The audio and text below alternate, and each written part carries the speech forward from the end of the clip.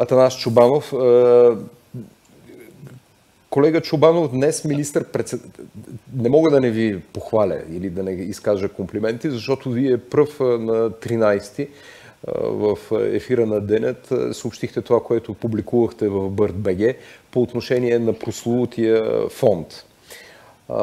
И днес министър-председателя Кирил Петков благодари на разследващите журналисти, т.е. на вас, че сте осветили генезисът на този фонд. След като пък вчера Американското посолство София каза, не, не, не, не, ние на, никой от правителството на Съединените щати не е препоръчвал този фонд на правителството на България. Вашия коментар към този час, защото нещата са скоротечни. Да, добра новина е това, че, че премиерът е възложил на ДАНС да направи проверка на твърденията, които ние изнесохме, които са подкрепени с документи и ги има и в Google, но това нали, не, не, не, не се приема като доказателство в едни сериозни служби. А, доказателства могат да намерят, включително и от фонда GemCorp, могат да предоставят не само интервюта, а и документи, които доказват техните твърдения, че са се изчистили от, от руската връзка, така да се каже.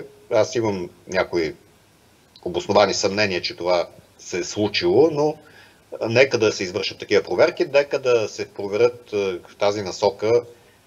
ДАНС може да провери други инвестиции у нас, за които сме писали, че има съмнение, че за тях стоят руски капитали. Визирам изкупуването на чест от Еврохолд, визирам и други сделки, за които сме писали. Трябва да се направи такъв анализ, какви са опасностите за българската економика от това, че руски капитали са силно преплетени в, в нея. Как да бъдат направени тези анализи, след като днес стана ясно, има повдигнати обвинения и се разследват двама служители на ДАНС, точно заради това, че са пробити от гледна точка на, на руските интереси. Много набързо, господин Чубанов, вие публикувахте вчера много интересна е, статия по повод е, на поисканите от е, прокуратурата записи от камерите на Министерския съвет. Кои са въпросите? Аз само ги маркирах с нощи. Въпросите, които създават основателни притеснения. Дори по отношение на личността на прокурорката, която води тези разследвания. Същата прокурорка, която е, изпра, е, т.е. още не, но води разследването така наречено срещу Бойко Борисов, не, кой, който е командирована от районна прокуратура в градска прокуратура. Има 7 кредита за големи суми, които няма как да се обяснат с, нейното, с нейните приходи. А това, което е скандално е, че, че се искат записи от камери, които не са на НСО, а те се искат от, нали, прокуратурата ги иска от НСО, камерите са на Министерски съвет. Как НСО има достъп до, до тях и да ги предава и на прокуратурата е много загадъчно. А, другото, което видяхме в постановлението, че той е, носи резолюция на шефа на НСО, генерал Тонев, още същия ден, в който е получено от, от прокуратурата, но премиерът съобщи за това една седмица по-късно. Той значи не е знаел какво се случва.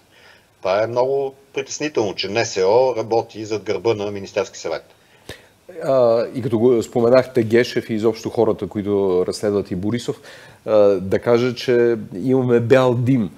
Прокуратурата първо съобщи, че е предала на Министерството на правосъдието искането за разпитването на хазартния бос Бошков по видеоконферентна връзка от Дубай, но най-радостната новина, особено за кореспондента в Барселона Ангел Ангелов, е това, че прокуратурата най-сетне след два месеца е превела от испански на български 200-те страници от Барселона Гейт, делото, което се води и в, и в Испания нали, стават Има чудеса. напредък, така, нали, нали, не, не стават никакви чудеса, това е симулация, според мен, на, на дейност. А, отдавна трябваше това дело да, да влезе в съдебна фаза, специално за Барселона, аз го следя от а, толкова години. Тупка се топката просто. А, нека да кажа две-три думи за тези банки, които намерихме, банки в Е, само за секунда, това беше последния ми въпрос. Само да. искам да ви е, питам нещо, тъй като е, предстои избора на гуверньор на Българската народна банка. Е, вие имахте днес и една закачка по отношение на кандидата на има такъв народ, Каримански, който явно може би ще бъде избран с любезното съдействие на опозицията. Та публикувахте интересни неща, освен банките, в които е работил. Ами, първо той е работил в банки на мафията. Да сложим начало на БНБ човек, който е израснал кариерно в банки на, на мафията е изключително скандално. Второ, той е излагал в CV-то си, че е работил в ДЗИ банка от 99-та година, всъщност е работил в БНР, в БНТ, в НРСТ, това беше СЕМ на времето.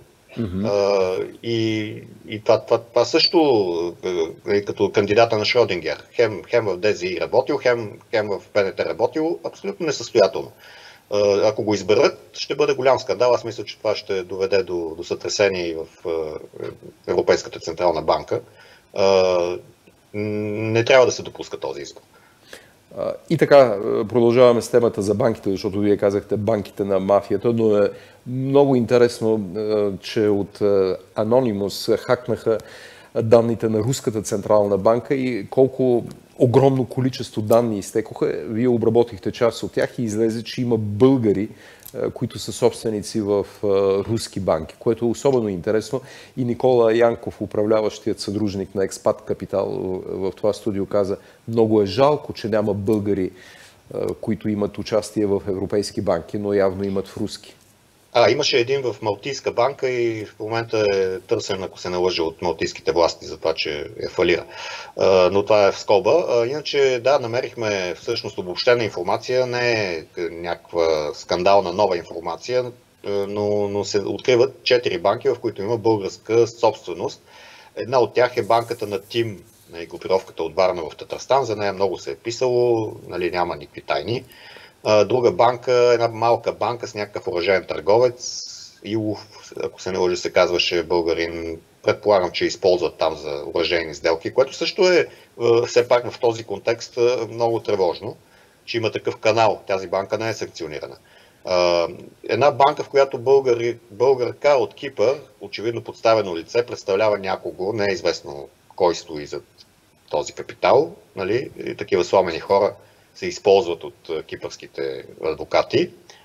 И, и даже една банка, в която дял има НАП, защото НАП е наследник на Елитбанк. Нали? А пък Елитбанк фалира и тя на времето имала дял там и сега до сега НАП държи 4% в една руска банка. Uh, да, в, в рамките на шегата. А пък от друга страна имаме uh, руски собственици на български банки. TBI банк, например, uh, 50%, поне според декларацията в търговския регистр, е на някаква дама Вера Бойко от Руската федерация, която живее в Дубай. Тоест, пак имаме някаква руска връзка с, по-скоро бих казал, подставено лице. Нали? Никой не е чувал, че Вера Бойко притежава TBI банк. Но се открива това в регистрите и да, ако Дан се разрови, може да ги намери тези неща и за много други сделки, които в момента правителството прави, малко хаотично, могат да намерят публични данни. Ето ще дам пример с Държавния резерв, където вкараха с 150 милиона маджо. Значи от една ръка носиш на прокуратурата папка за маджо от Google, а пък с другата му даваш чрез Бентойл сделка за 150 милиона за Държавния резерв на горива. Това, това нещо е лесно минава на радара, ако службите положат минимални усилия да видят кой стои зад Бентойл. Впрочем, днес Корнелия Нинова, заместник министър-председателка, каза, че не, не може да изнесе данните за далаверите, за злоупотребите, за корупцията в Държавната консолидационна компания. Това по повод на факта, че споменахте Държавния резерв. Ами да ги изнесе по втория начин към разследващите журналисти. Ние ще ги публикуваме, поемайки риска да, да, да бъдем съдени за разгласяване на държавна тайна, но, но рискът е по-малък, отколкото да, да, да прикриваме корупция, бих казал.